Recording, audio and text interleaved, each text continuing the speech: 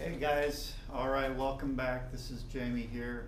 Um, welcoming you to my coronavirus series of lectures 2020. I hope you're all well and that you're doing okay. Here's what we're going to start with next. Uh, here's where we are in the class right now. You should have had, um, you have your nice lead sheet arrangement that you've already done. So I'm hoping that what we can do is go ahead and maybe develop that a little bit. Uh, but where we're heading is, remember, by the end of the semester, you need to have a five horn and rhythm section chart finished. Now, guys, we aren't going to get to play these arrangements. I'm sorry about that, but it's just kind of how the circumstances came along here is you're going to have to just probably what we're going to do is you're going to try to get the best MIDI file that you can make on uh, either if you're using MuseScore or Finale Sibelius. That's what we're going for, to get the best sounding product possible. So I would start exploring some of the things that you're going to have to do to get that going on.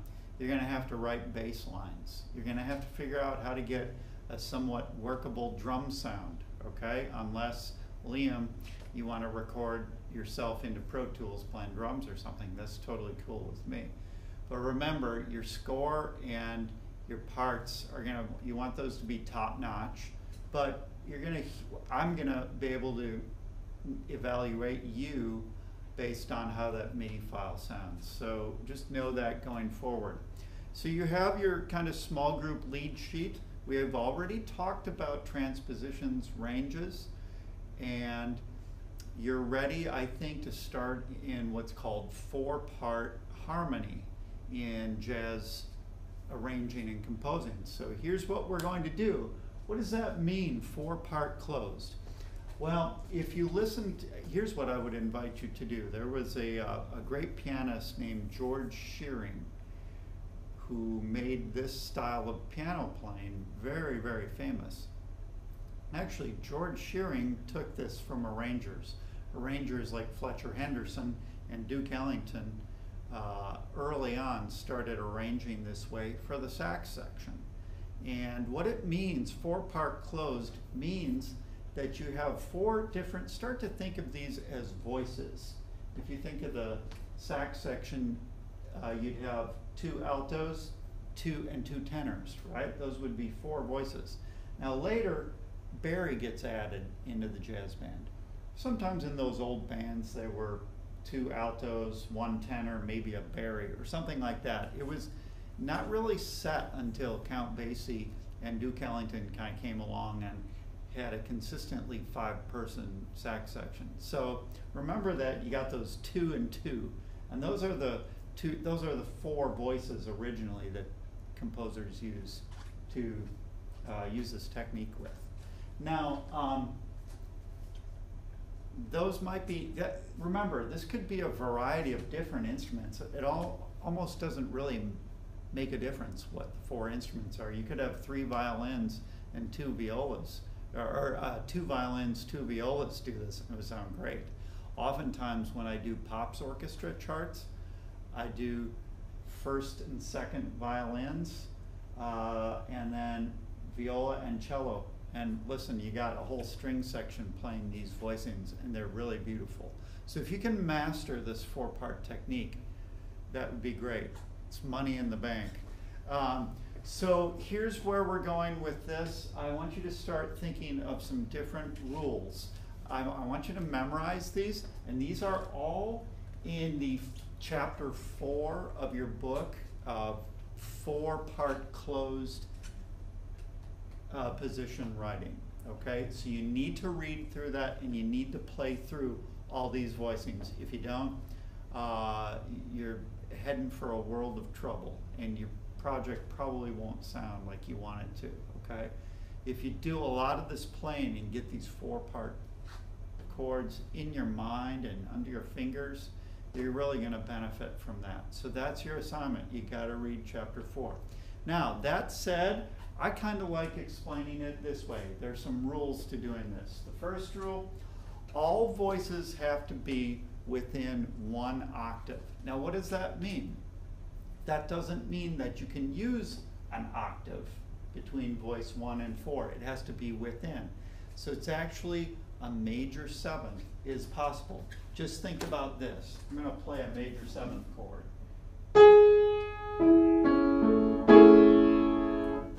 Right? Those are four different voices. Seven, five, three, one. Right? And within the other two voices are within that major seventh. Okay? So that's one rule that you have to keep. Now, you might be able to get four voices in a major sixth or even a minor sixth sometimes. Okay? That's a uh, that was an F minor chord in first inversion. Okay, so ba ba ba ba. So you have a minor sixth on the outside. The outer interval may vary, but just remember it has to be within an octave. Now, for instance, if you if you do this.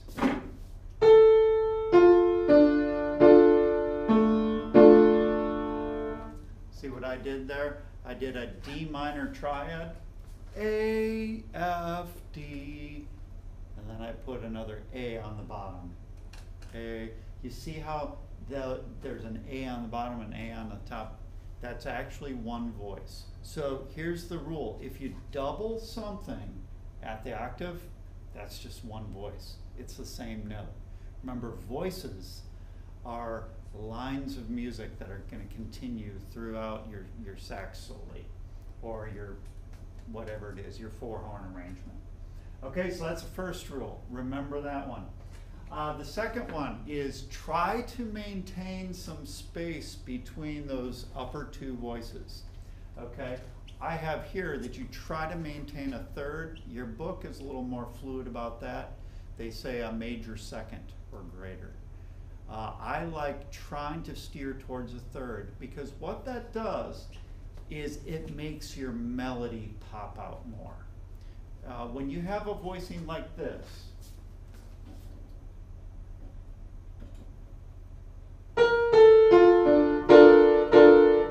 here's what's really going on in the top two voices. So when you hear that minor second up in between voice one and two, it clouds your melody. For a moment, the listeners going to go, hmm, I don't know which note it is that's the melody, and it'll really pop out. Now, you might like that sound and be able to use that somewhere as something interesting, but generally in a sax soli, we try to avoid those sorts of things. Okay? Um, so, try to maintain a third, maybe a major second at least, never a minor second. On to the next one.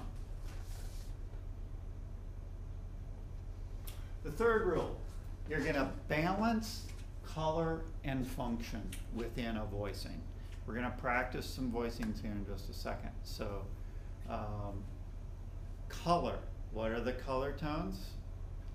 9, 11, 13, right? And if you have a hard time knowing what's what in a chord, then you need to practice your piano a little bit and find.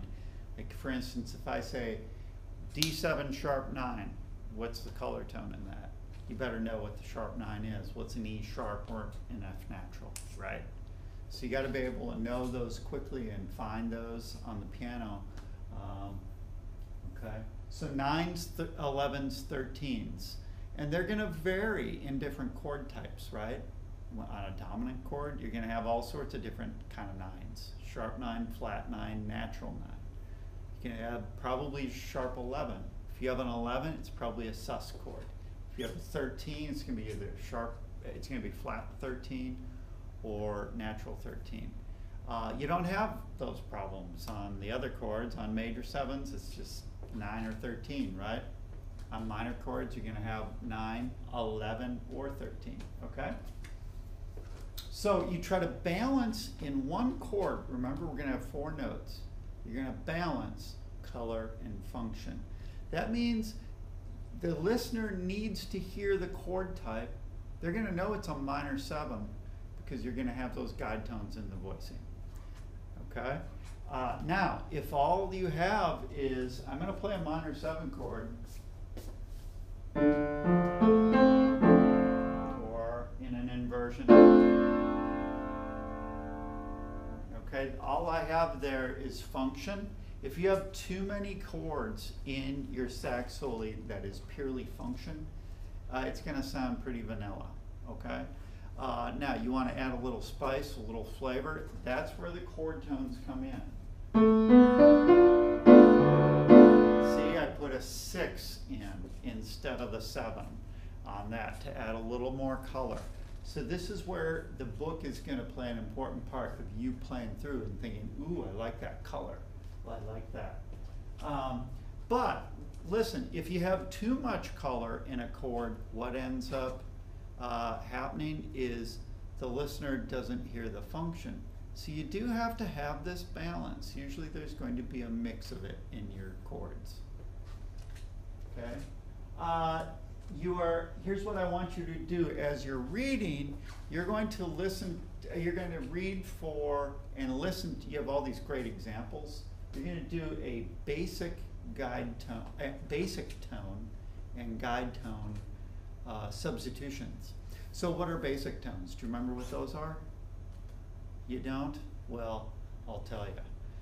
Basic tones are the root and the fifth. They're the most basic tones of all. They give no chord quality, but sometimes you can use them, okay? You can use them as kind of filler. Uh, sometimes they'll be in the melody. So then uh, what, we, what we do is if they're on the inside of a chord, we can say, well, I don't like the fifth there, so what note is right next to the fifth? The sixth. So that's the substitution. Sometimes there might be a root in your voicing. Well, what, what sounds better than the root? What notes are right next to it? The seven or the two? Okay? So you can use those interchangeably once in a while in voicings. And we'll kind of discover that when we're building some voicings. Okay? The fourth point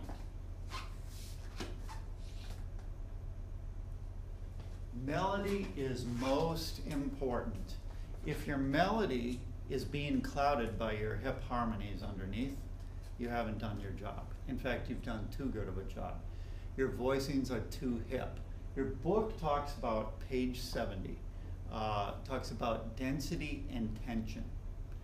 Density is how close how close together your voicing is. Maybe your chord need your chords need to maybe be more spread out.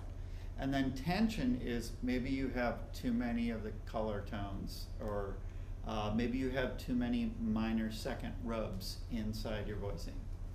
So that's something that you're going to want to start thinking about.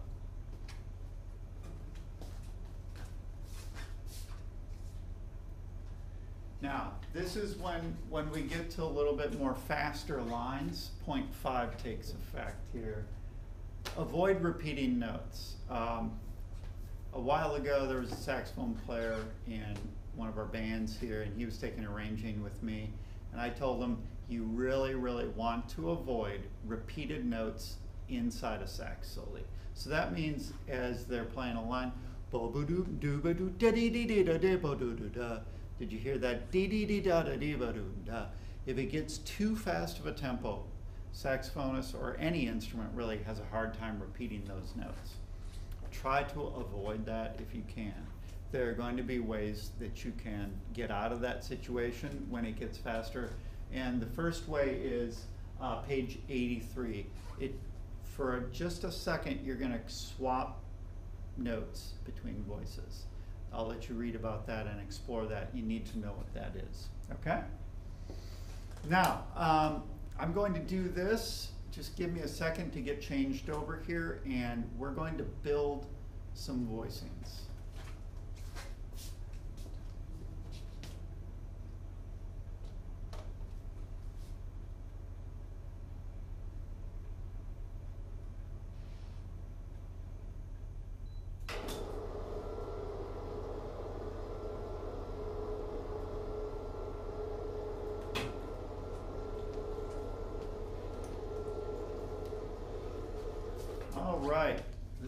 Welcome to my uh, second half of coronavirus lecture number one. Um, we're in four-part closed harmony. What I'm gonna do right now is take you through some voicings and get, let you get my thinking on how to build these, okay?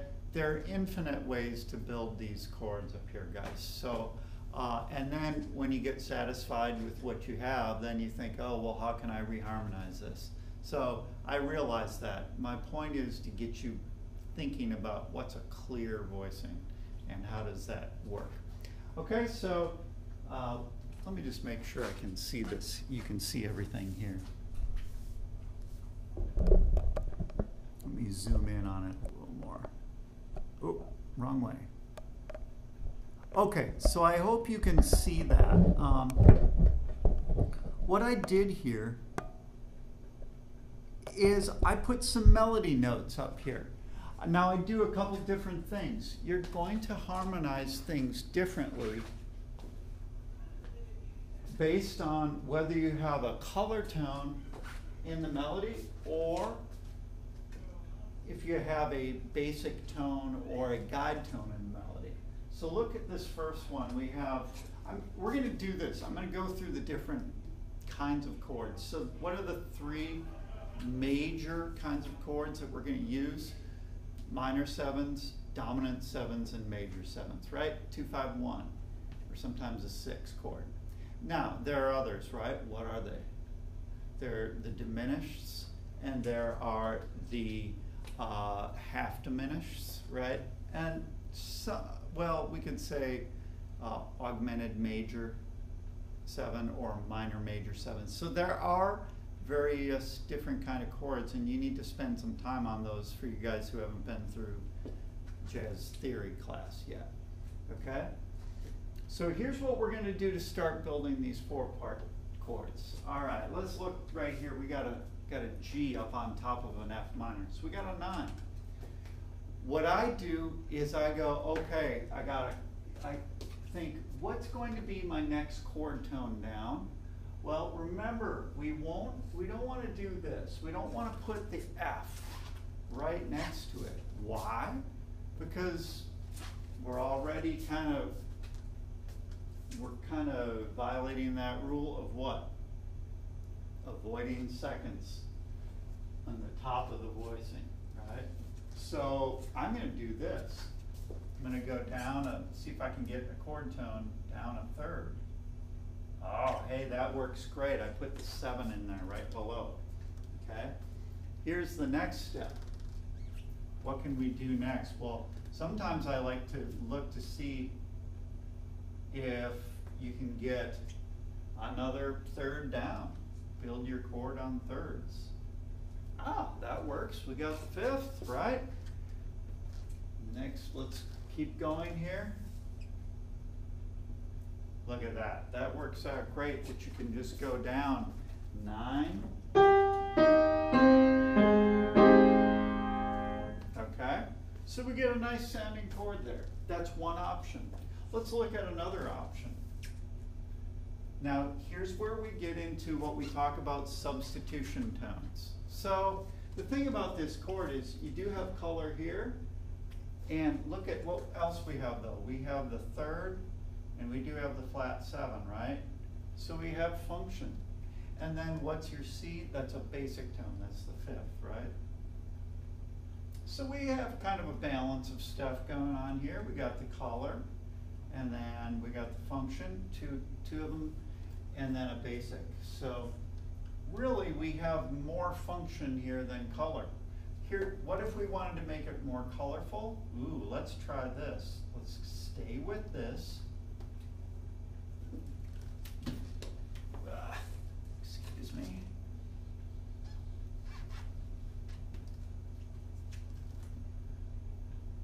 Have,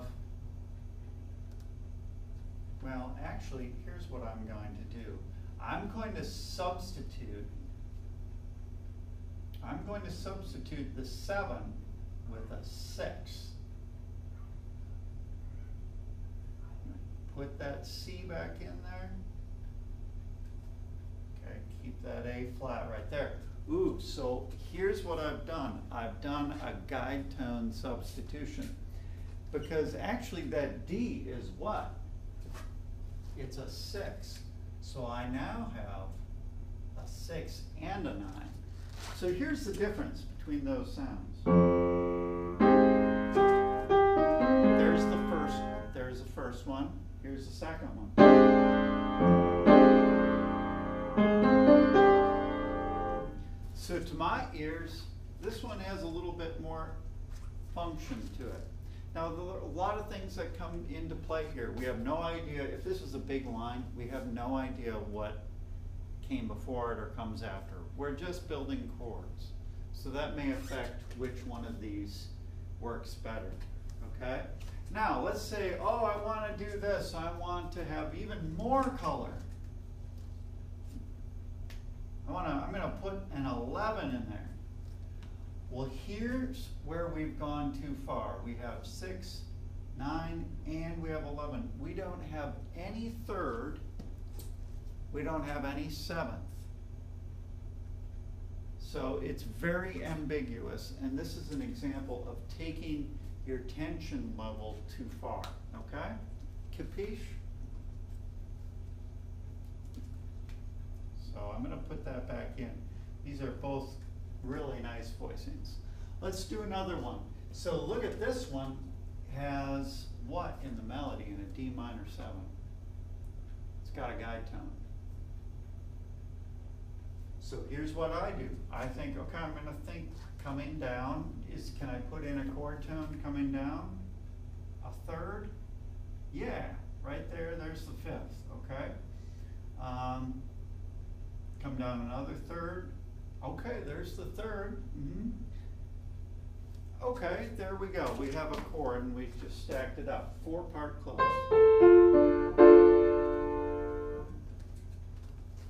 Nice enough, right? But let's examine what we have. We don't really have any color, do we? So what I think is, hmm, what's the most, I mean, it's either going to be one of two tones. We have the basic tones in here. We have one and five. One of those gotta go. My first thought is to do this. This is probably the best option. Erase the root, substitute it with the nine or the two, right? And you got this nice classic sound. It's almost, actually, you could rewrite that, you could use that as an F major seven voicing, couldn't you? But here, the root is a D, okay? Here's another option. Let's go back to that original voicing we had. That, and you know what? That'll get you by fine. You'll use that a lot. You don't always have to have the hippest voicings. Um, it might depend on what's going on in your tune. Here's one. I'm going to erase the fifth and put in, ooh, put in the 11. So then you get this.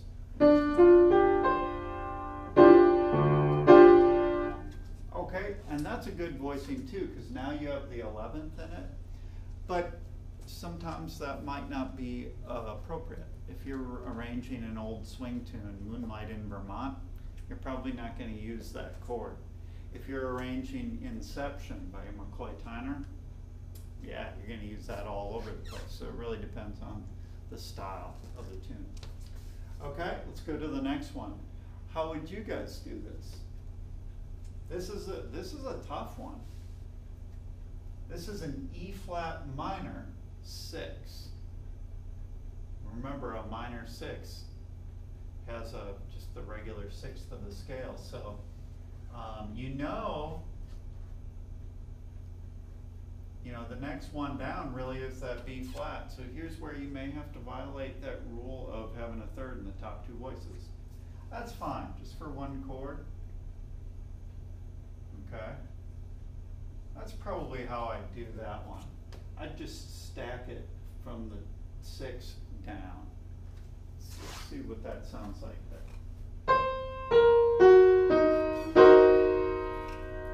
Sounds pretty good, doesn't it? Okay. Now, what are some other ways we can work on this chord? Well, we could say, uh, we don't really need the root. let's see what the, what the.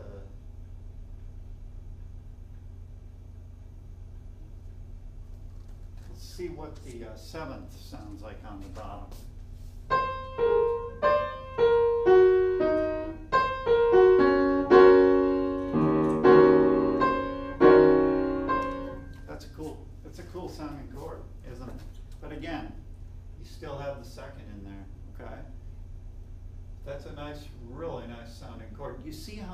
Experimenting with these? Now, your book is gonna have a compendium of different choices of, uh, of sounds, four note voicings.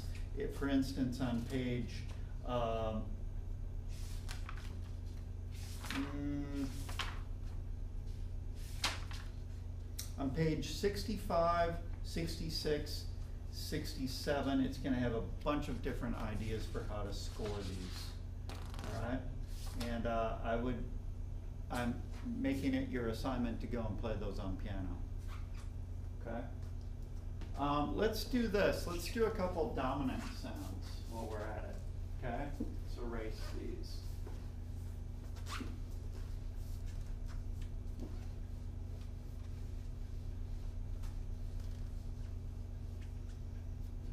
All right, let's start with a D seven, nine voicing. So when you see that right away, and notice how I'm using the grand staff. You all need to get used to thinking on the grand staff and having your, so I'm gonna put it right here. Ooh, the nine, you know colors in the melody? So probably we're gonna have to get enough function in there, right? So that means what? Third and seventh.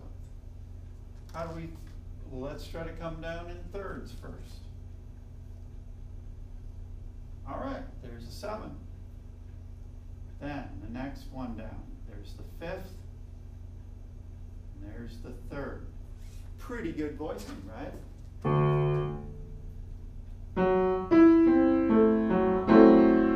Pretty good voicing. If you look at that, that's really what, an F sharp, half diminished, but it's the upper part of a D7, 9 voicing. How can we make that a little bit better? There's not a lot of color, well, there's color in the melody, so it would be okay on its own.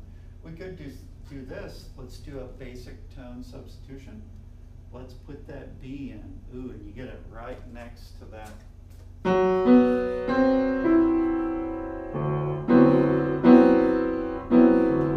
Now, you see what we've done? We've increased the tension level by putting a half step rub in it. Okay, so we now have this. We now have more, more color. What was one of our other choices, by the way, for color instead of, instead of that,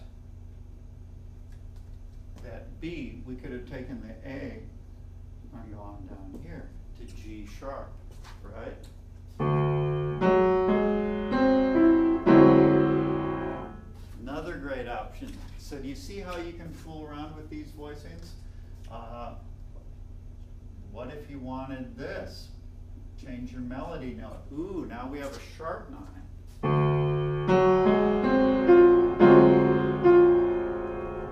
So do you see how these different sounds, we're spacing them in a way that work? Look, we have a nice gap between the top voices. We have a balance of color and function. This is what you need to learn in your reading is to go and look at this. Let's do a dominant chord where we have a function note in the melody. Let's, for instance, use a C. That's what?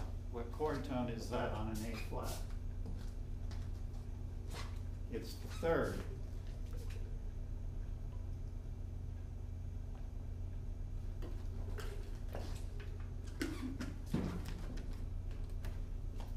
Okay? So what do we do first? Let's come down. Come down by thirds if you can. A flat. I mean, let's just get the basic outline of the chord first. This would be just fine. just fine as a, as a possible chord type. But what do you, so you have both guide tones, three, seven, and then you have five and root. So really, there's not that much color. So what can we do? The fifth, um, we could do this. This is honestly, this chord, I probably would stay with this if it's in the middle of a line. You might want to get a little bit hipper later. Oop, I'd take out the root probably, and I'd go G flat, F, and then E flat. That's one of your options. Now, a real weakness to that though is look at this cluster down here. So we kind of have a lack a real tension there. Well, it's dense actually at the bottom of the voicing. Then we got a big gap. So what else can we do with that? Let's experiment with this up here. We could break our rule of a second, go like this. Three, three, nine, seven, five. That sounds pretty good as well. We could, and you see how many options there are here? Could take that out and go like this. Woo! Let's put a sharp 11 down there.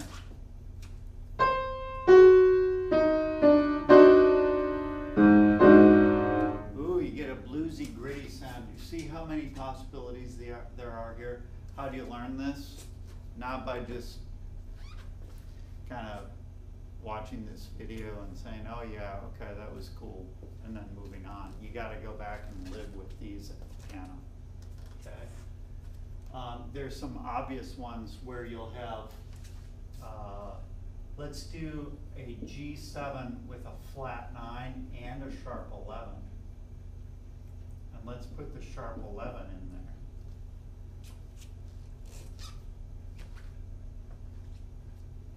Okay?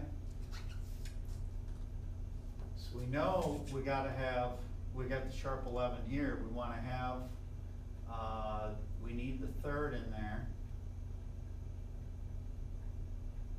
And I put the flat nine here. Put that there. So, sharp 11, 3, flat 9, and then the 7. So I have function, third, uh, third, seventh, I got my function in there. I when I have two color tones, I know I gotta get those function notes in there. Okay, and then, uh, then the color, sharp 11, flat 9. Pretty cool sound. Right, you can use, you can use that to resolve real easily, okay? So let's do one more category. Those are dominants, and they have a bunch of dominants in your book. Uh, if you go to the back, there's a compendium, uh, an appendix. Appendix four is a compendium of four note closed voicings. Play through all of those for next week, okay? What I'll, what I might do is for the final exam, we'll have you play through some of those for me, so I know that you can plan. Okay? One more category here. Um,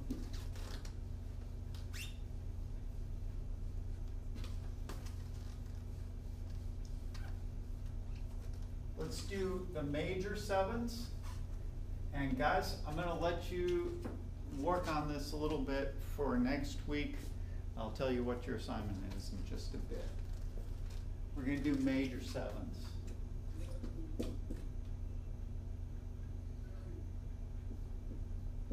Let's F major seven with a nine. Okay, so what do we do? We kind of go down the chord, see if we can stack it in thirds first.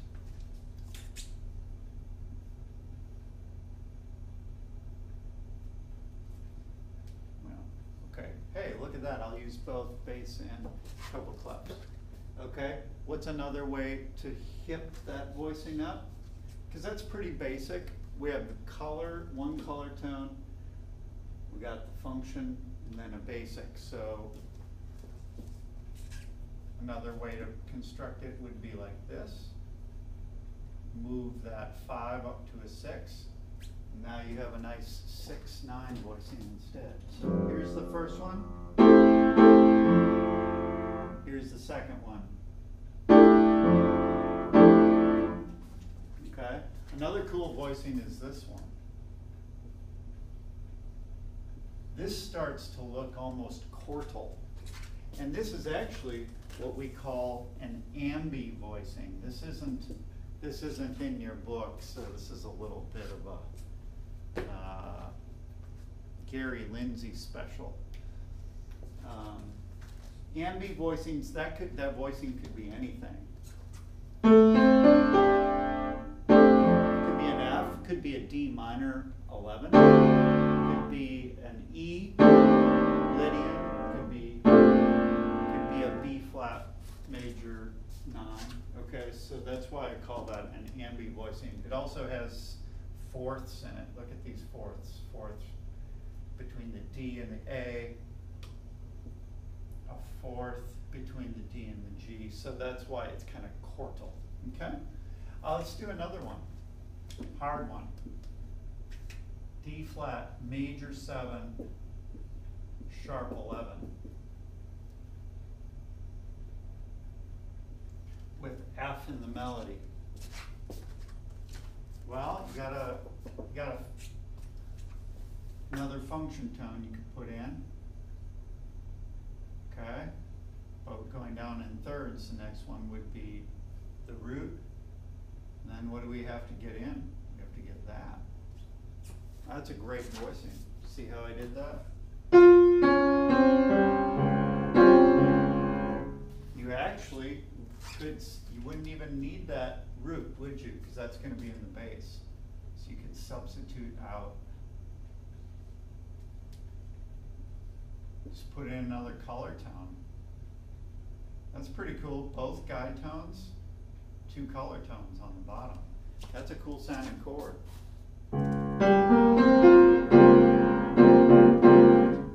Right? So I hope you can hear this okay. Let's do one more major seven chord. Oh, here's the, I'm gonna do the hardest possible voicing. Uh, let's do G flat major seven. With that in the melody note. Why is that hard? Because what's the next note down would be that F. So put it in anyway. I'll put that in. And we'll go down the chord. Right, there's your voicing. One, seven, five, six.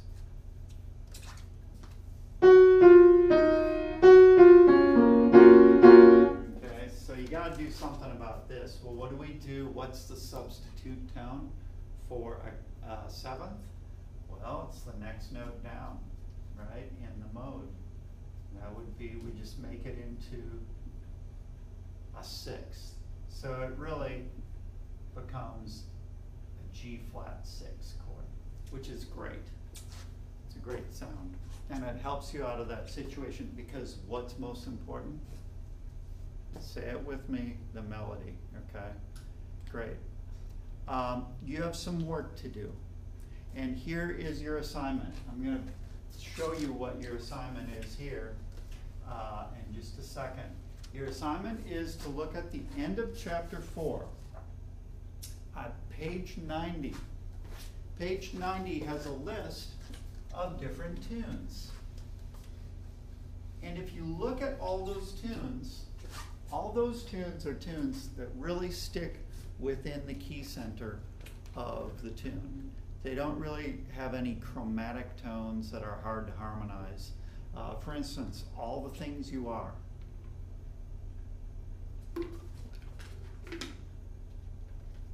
Yeah, that's in there. Alice in Wonderland. Um, Bluesette. those are all tunes that the whole melody is basically uh, right inside the key. You're not going to have too hard of a time harmonizing these. There's not a lot of uh, chromatic motion. But what you're going to do is you're going to harmonize all uh, the whole melody. You're going to pick one of those. Now you can't use Cherokee because I'm going to use it right now. Sorry. Um, okay, Cherokee is in D flat. I'm going to show you what you're going to, going to do. So, let me get to the note. Ooh, do, do, dee, do. You're going to do this. You are going to put your chord symbols in above the melody. On finale or Sibelius or MuseScore, turn off the chord playback. Those things are raunchy. You don't want to do that. Okay? So on B flat major seven.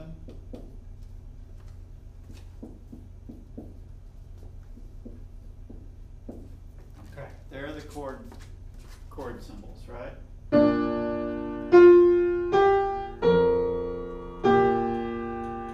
then to the next chord, right? So here's what you're going to do. You're going to harmonize these in four part four part close. I want you to show I want to show you how fast I do this. Guys, I don't overthink this. If you're thinking about making each chord the hippest chord you've ever written, that's that's not that's not the goal. What is the goal? To bring out the melody and have a really nice sounding sounding uh, product. Okay? Um, so I'm going to come down that third, then the seventh is right next to it, and the fifth. Good voicing. Okay? Keep on coming. Boo. Okay, five, three. Now, instead of the root in the voicing, I'm going to put a nine in there. Okay, that sounds sounds pretty good, right? So now what's this is kind of what we're talking about. Um, check this out. This goes up, but to come down, hmm, I have to break that rule of a third. But I'm going to go ahead and do it. I'm going to break that rule just because I want to keep this voice moving up. all the voices look they're kind of moving together Boom, da, da, all the time. I'm never going never going bigger than uh, well what my outer interval is major sixth here it's a minor sixth right? So it's always within that octave. Okay? Ooh, do, do, do. Ooh, this is an interesting chord. Well, what do we do? Am I going to do this? Am I going to have that right next to it? Hmm, I don't know. Ooh, da, da, da. Hmm, that to me doesn't sound doesn't sound real Cherokee-ish. Sounds pretty dense, pretty chordal. So I might do this. I might take this. I might just do this.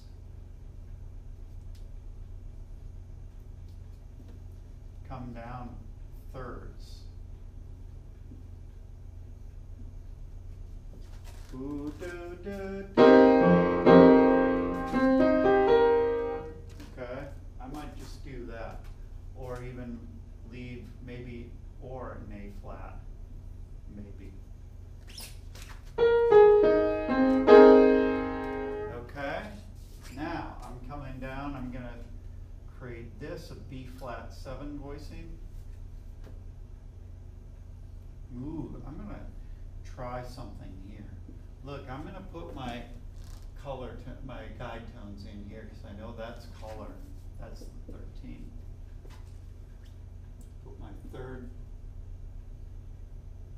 and third and seventh there. Ooh, I can, I have one more place for color. Ooh, how about this? I'm gonna put a C flat in there. So.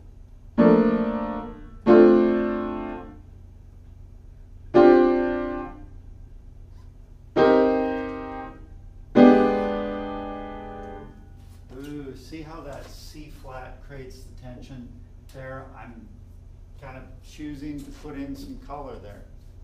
So you see how I did that pretty quickly?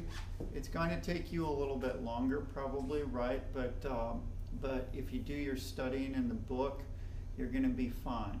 So that's your assignment for chapter four is to go through a whole melody and and do this. And just for our the sake of clarity, uh, I, I'm going to make this due on Mar- uh, Monday, March 30th. Okay, that'll be the due date for this. Here's what you need to do. You need to do this on Muse Score or Finale Sibelius. You need to have this all. What I would say is to do it um, on four separate lines. And what I would say to do is do alto one, alto two, tenor one, tenor two for now. Okay, build the saxophone notes. And you're actually gonna put in each note from top to bottom. I would go chord to chord and figure out what they are. If you need some help on this, feel free to give me a call, okay? Send me a PDF. Guys, try not to do this. Try not to have your melody take up nine pages, okay? So find a way to get your score onto three or four pages tops. If you can do it in two, that would be great. By making uh, four measures per system or something like that, okay? Um, thank you very much. Uh, please send that playback to me, the MP3 file. Uh, if you want to, just check how it sounds. Create a bass part too. Put in, put in bass notes, right? Half notes, whole notes, so that you can hear the what you write against the bass note. Okay, I hope you're all well and safe. Um, I really miss you guys. I'm not going to get to see you much face to face, and that, that really bums me out. Uh, I was really looking forward to seeing what you create for the end of the semester, but I'm hoping that you can use these arrangements as we move forward. Okay? Uh, your arrangement, be thinking about what you want to do for your chart, okay? If you're going to use your old melodies somehow, uh, we can talk about it. Okay, thanks guys.